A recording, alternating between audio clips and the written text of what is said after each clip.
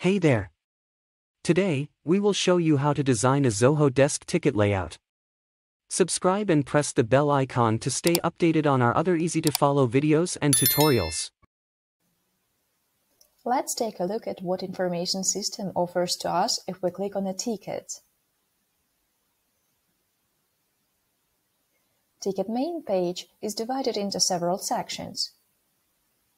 On the right menu, you will find tickets listed according to the filter applied. Choose the one more appropriate for you.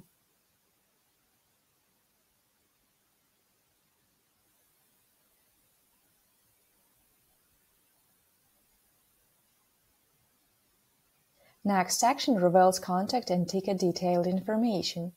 It shows if contact is integrated with Zoho CRM, to whom the ticket is assigned, status, due date, and other additional fields, like priority, language, or ticket classification.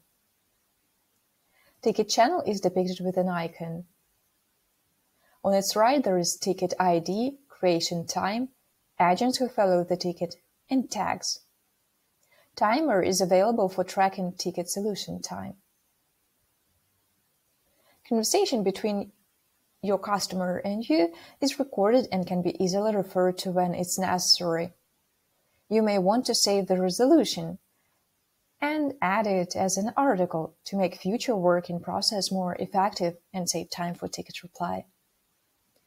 Any time tracking record is listed in Time Entry tab.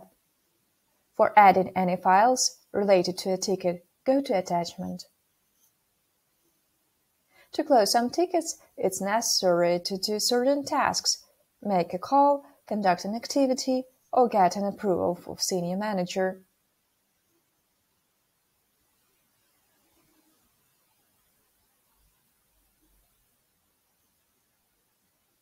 All actions and updates are logged in History section.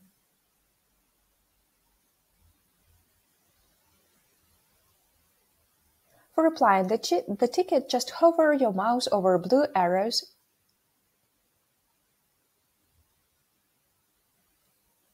and choose between Reply All, Reply, or Forward. It's also possible to leave a comment if you feel that is necessary. Don't forget to close the ticket as soon as this issue is solved.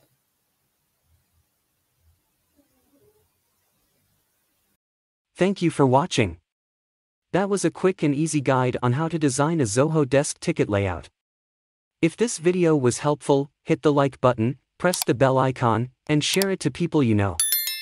And if you need clarifications, we are available at knowhow at customerization.ca.